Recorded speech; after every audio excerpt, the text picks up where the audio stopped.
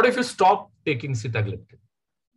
Remember, please continue to take sitagliptin as long as your doctor prescribes it so that you can continue to help control your blood sugar in a better and effective way. You should not stop sitagliptin unless you talk to your doctor.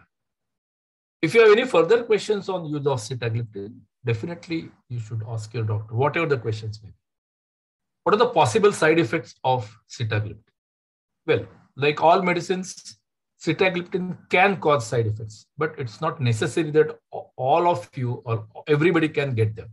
However, the common side effects of sitagliptins, like other DPP4 inhibitors, include gastrointestinal problems like nausea, diarrhea, stomach pain, flu-like symptoms like headache, runny nose, or sore throat, skin reactions, that is painful skin followed by a red or purple rash.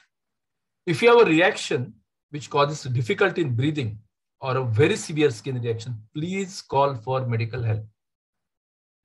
DPP4, which I told you earlier, have been inhibitors. What I'm saying is they have been linked with an increased risk of pancreatitis. And therefore, pancreas lies in the abdomen, in the upper abdomen. And therefore, if you experience severe pain in your upper abdomen, which may be accompanied by nausea and or vomiting, then immediately contact your doctor.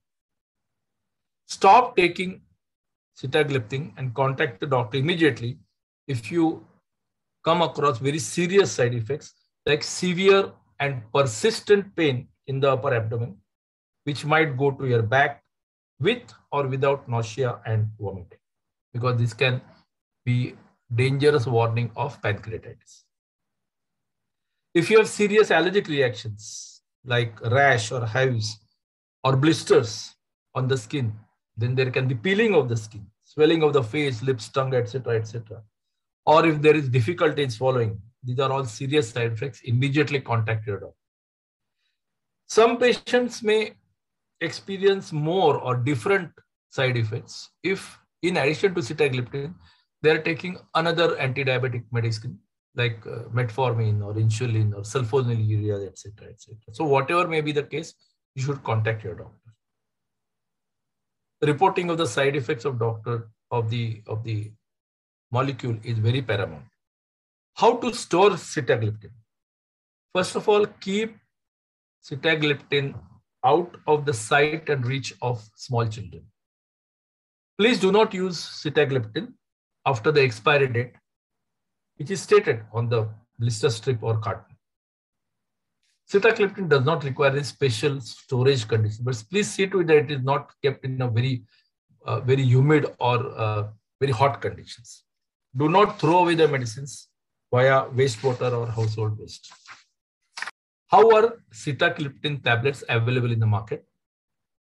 Each sitagliptin 25 or 50 or 100 milligram, it's a film coated tablet, contains sitagliptin phosphate monohydrate, that's a salt, equivalent to 25 or 50 or 100 milligrams of sitagliptin. And it's available in strips of either 7 tablets or 10 or 15 or 28, depending upon the company which is marketing it.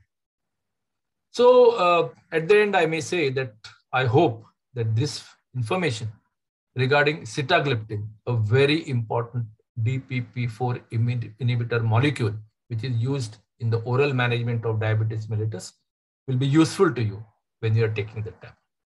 Thank you.